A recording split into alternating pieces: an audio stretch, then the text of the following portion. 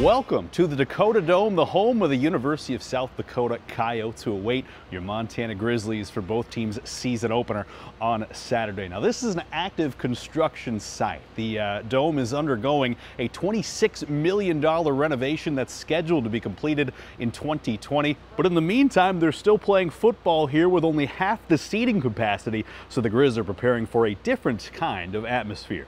Well, I've never been there. Um, I think this one's got some construction going on. I, I, don't know. It'll be interesting. You know, we we've played in this league. You play in domes, so it's not uh, it's not a new experience to anyone on this team. But I haven't been there. Some guys on the staff have been. It'll be uh, a lot like going to places in this conference.